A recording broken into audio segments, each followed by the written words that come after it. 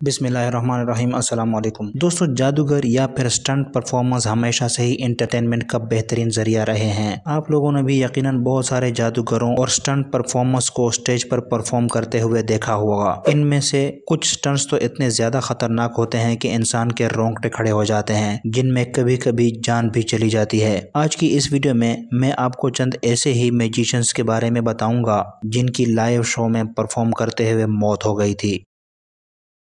William Ellsworth Robinson. ये दरअसल एक अमेरिकन म्यूजिशियन था जो अपने दौर का सबसे मशहूर परफॉर्मर था। इसका स्टेज नाम चंग लिंग सू था, जो वैसे तो एक चाइनीज़ नाम मालूम होता है, लेकिन इसका ताल्लुक चाइना से बिल्कुल भी नहीं था। ये 23 मार्च 1918 का दिन था जब इसने एक लाइव शो के दौरान खुद को गोली मरवा ली। ये दरअसल इसका सिग्नेचर स्टंट था, जिसे बुलेट कैचिंग ट्रिक कहते हैं। इस स्टंट में परफॉर्मर एक गन में एक गोली डालता है, जिस पर निशान लगा हुआ होता है, लेकिन ये गोली रियल बिल्कुल नहीं होती, बल्कि या तो इसमें पाउडर नहीं होता या फिर इसमें वैक्स वाली गोली का इस्तेमाल किया जाता है। फायर करने के बाद इस निशान वाली गोली को ये परफॉर्मर अपने मुँह से, जेब से या फिर हाथ से निकाल कर लोगों को दिखा देता है और ये ज़ाहिर करता है जैसे फायर होने के बाद इसने ये गोली कैच कर ली हो। लेकिन आजकल के दौर में इस स्टंट को परफॉर्म करने के लिए इलेक्ट्रॉनिक गन का इस्तेमाल किया जाता है, जिसमें गोली नहीं डाली जाती, बल्कि इसमें से सिर्फ़ फायर की आवाज़ ही आती है। बहरहाल, इस म्यूजिशियन की ये गन अच्छी तरह से साफ़ नहीं थी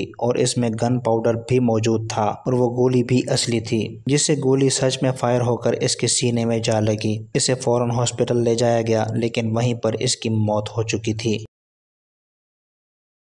दोस्तों, अपने कीमती वक्त में से सिर्फ़ पाँच सेकेंड निकाल कर इस चैनल को सब्सक्राइब कर लें और बेल आइकन को भी लाजमी से एक्टिव कर दें। हम आप तक ऐसी मालूमती वीडियोस लेकर हाजिर होते रहेंगे।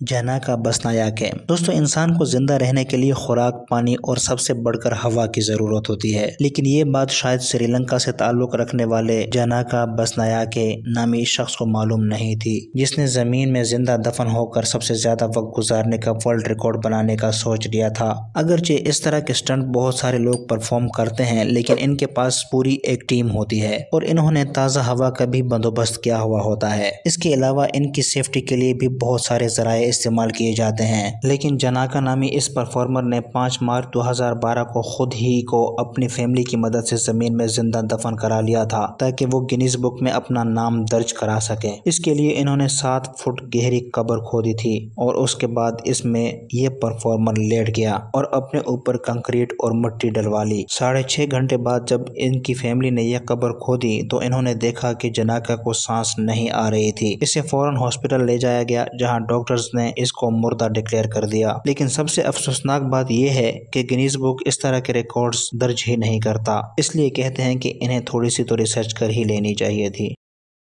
रोयडन गिनेस्टा। ये एक अमेरिकन मैजिशियन था, जिसका सिग्नेचर ट्रिक ये था कि ये एक स्टील के कैन, जिसमें दूध या फिर पानी भरा हुआ होता था, उसमें ये अपने हाथ हथकड़ियों में जकड़कर इस पानी या दूध से भरे हुए कैन में चला जाता था और इसके ऊपर ढक्कन रखकर इसे ताला लगा दिया जाता था। इस ढक्कन में से सिर्फ़ इसका हाथ ही बाहर आ सकता था। इसे अपनी सांस उखड़ने से पहले अपनी हथकड़ी और उस कैन का लॉक खोलकर बाहर आना होता था। गिनेस्टा ने ये ट्रिक कई बार परफॉर्म कर ली थी, लेकिन 1930 यानी कि 1930 में जब इन्होंने लाइव शो के दौरान ये परफॉर्मेंस दिखाने की कोशिश की तो ये वक्त पर लाक ना खोल सका था और ना ही हथकड़ी खोल सका था, जिससे इसकी इस कैन के अंदर ही मौत हो गई थी। इन्वेस्टिगेशन पर पता चला कि कैन एक जगह से डेंटेड था, जिससे ये म्यूजिशियन आज़ादी से मूव नहीं कर पा रहा था, इसलिए वक्त पर यह पानी से बाहर नहीं आ सका। इसकी ये मौत सच में बहुत काबिल रहम थी।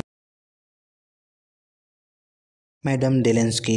दोस्तों, इस वीडियो में हम ऑलरेडी एक बुलेट कैचिंग ट्रिक से मरने वाले मैजिशियन की बात कर चुके हैं। ये भी दरअसल ऐसा ही कुछ किस्सा था, जब पोलैंड से ताल्लुक रखने वाले एक मैजिशियन और इसकी बीवी यही स्टंट परफॉर्म कर रहे थे। स्टेज पर जाने से पहले मैडम डेलेंसकी ने वहाँ पर मौजूद छह गार्ड्स को अपनी बंदूकों में नकली गोलियाँ डालने का बोल दिया था। दोस्तों, जैसा कि मैंने पहले अर्ज़ किया कि इस स्टंट को परफॉर्म करने के लिए हमेशा से नकली गोली का इस्तेमाल किया जाता है, लेकिन मैडम डेलेंसकी के इन छह गार्ड्स में में से एक गार्ड ने गलती से नकली गोली की जगह असली गोली डाल दी थी। शो के दौरान जब इन पर छह गोलियाँ चलाई गईं तो इनमें से असली गोली सीधा इनके सीने में जा लगी, जिससे वो वहीं पर गिर गई। दोस्तों, स्टेज पर गिरना दरअसल इसके एक्ट का हिस्सा था, और तमाम तमाशाई भी यही समझ रहे थे। लेकिन जब काफ़ी देर बाद वो नहीं उठी और इसकी टीम ने भी जब खून देखा तो इसे मामले की संगीनी का अंदाज़ा हुआ। इसे फ़ौरन हॉस्पिटल ले जाया गया, लेकिन दो दिन बाद ही इसकी मौत हो गई थी। अब जो फुटेज इसकी देख रहे हैं ये बिल्कुल रियल फुटेज है।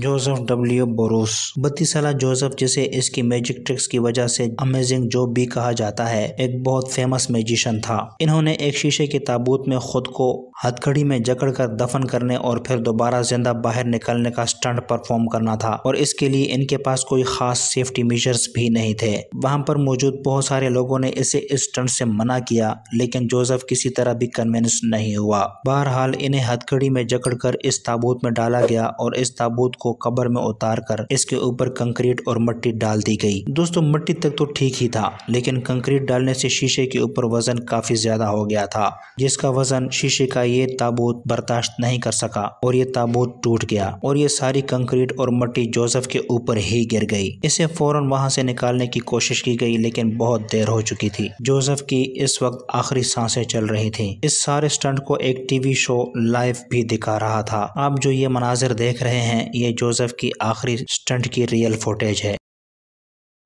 दोस्तों, आज तक के लिए इतना ही। खुश रहिए, खुश रखिए। अगली वीडियो तक के लिए इजाज़त दें। अल्लाह हाफिज़।